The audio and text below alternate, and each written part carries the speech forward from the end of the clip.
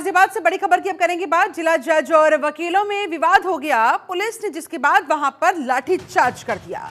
वकीलों ने वहाँ पर जमकर हंगामा करते हुए पत्थर तक बरसाए। चौकी पहुंचकर वहाँ पर जाकर तोड़फोड़ की।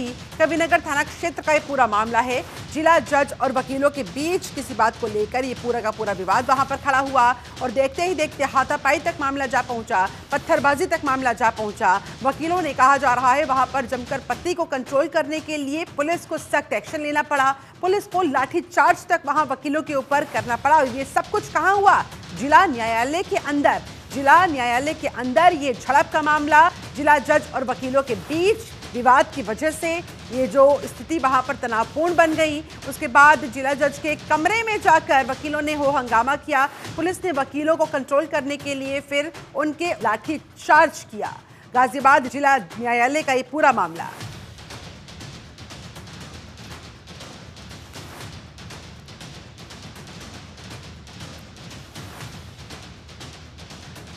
अरुण चंद्रा हमारे साथ संवाददाता, ज़्यादा जानकारी के साथ फ़ोन लाइन पर कनेक्ट हो गए हैं। अरुण, क्या है पूरा मामला? किस बात को लेकर जिला जज और वकीलों के बीच विवाद शुरू हुआ, जो देखते ही देखते यहाँ तक हाथापाई तक जा पहुँचा, पत्थरबाजी तक जा पहुँचा? देखिए शिल्पा गाजियाबाद कोर्ट में आज जिला जज के यहाँ पर एक सुनवाई थी की और सुनवाई के दौरान जो वकील हैं, दोनों पक्षों की वहाँ पर जो जिरह शुरू होगी और जिरह इतनी बढ़ गई कि फिर वकीलों के साथ साथ जो जज है जज को धमकाने की कोशिश यहाँ की जाने लगी। हाँ। जिसके चलते जिला जज ने वहाँ पर पुलिस को मौके पर बुला लिया और कोर्ट को बंद कर दिया। और उसके बाद जैसे ही वहाँ पर पुलिस फोर्स पहुँचती है तो जो गुस्साए थे वकील वकीलों ने पुलिस के ऊपर जो पथराव करना शुरू कर दिया जिसके देखते हुए पुलिस को वहाँ पर लाठीचार्ज करना पड़ा।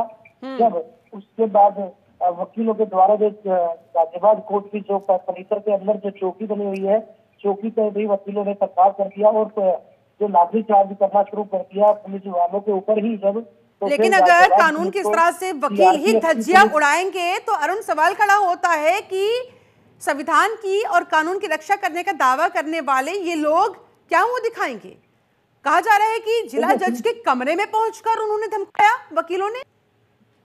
देखिए शिल्पा ये कोई पहला मामला नहीं है जब यहाँ पर गाजियाबाद की बात हो या नोएडा की हो या फिर हापुड़ की बात हो कि हाँ। जिस तरह से वकीलों का कोई कोई पहला केस नहीं है जो पिछली बार की अगर बात की जाए तो यहाँ पर जो तत्कालीन एसपी सिटी रहे थे आकाश तोमर इस बार उन्होंने पुलिस पर उनके साथ साथ जो आईपीएस थे यहाँ पर उन पर भी पथराव किया था। यहाँ तक की जो कैमरामैन थे जो रिपोर्टर थे जो अपनी कवरेज कर रहे थे तो वकीलों के द्वारा उनके ऊपर भी पथराव और लाठीचार्ज किया गया था। तो ये कोई पहला मामला नहीं है कि जिस तरह से वकीलों ने कानून को तोड़ा है। किया चलिए पहला मामला नहीं है सही कहा आपने अरुण लेकिन ये कब तक होता रहेगा? कब तक इस तरह से वकीलों की दबंगई चलती रहेगी? और लाठीचार्ज किया गया यहाँ पर पुलिस की तरफ़ से लेकिन ये बताए लाठीचार्ज के अलावा भी क्या कोई एक्शन लिया गया है? देखिए अभी तक की जो जानकारी है अभी यहाँ पर केंद्रीय पुलिस फोर्स को बुला लिया गया है क्योंकि स्थिति बहुत जो नाजुक होती जा रही है और जिस तरह से वकीलों के द्वारा यहाँ पर चाहे कोई कैदी को लेकर नहीं या कोई आम आदमी हो या, क्योंकि कोर्ट में इस तरह से इनकी खुली गुंडागर्दी चलती है और सबसे बड़ी बात यह है चिंता की आज तो इन्होंने जिला जज को भी नहीं छोड़ा है और जिला जज के साथ भी बदसलूकी की है और बदसलूकी के बाद भी जिला पुलिस बिल्कुल अगर जिला जज को इस तरह से धमकाया जाएगा इस तरह से दबाव मिलाने का प्रयास किया जाएगा और आपने बिल्कुल सही कहा अरुण कोई पहला मामला नहीं है तीस हजारी कोर्ट से भी हमने वो मामला सुना था देखा था वहाँ पर भी कमोबेश कुछ ऐसी ही परिस्थितियाँ उत्पन्न हुई थी वहाँ पर भी फिर पुलिस को कंट्रोल करना पड़ा था सिचुएशन को संभालना पड़ा था। अब ऐसे में ये बताया कि पुलिस का क्या कहना है? क्या आगे और सख्त कार्रवाई की तैयारियाँ की जा रही है? क्या इन वकीलों के खिलाफ जिला जज की तरफ़ से कोई एफआईआर करवाई गई है? क्या हो रहा है अभी? क्या प्रोसीजर है आगे? देखिए अभी की जो स्थिति है अभी ट्रोल करने में लगी हुई है। पुलिस अभी वकीलों को समझाने के इसमें लगी हुई है कि पुलिस जो आगे विवाद है वो और ना बढ़ा है। बढ़ने पाए। और इसके लिए जैसे कि मैंने आपको पहले बताया कि कई जिलों के जिलों की बात की जाए कई थानों की फोर्स को बुला लिया गया है।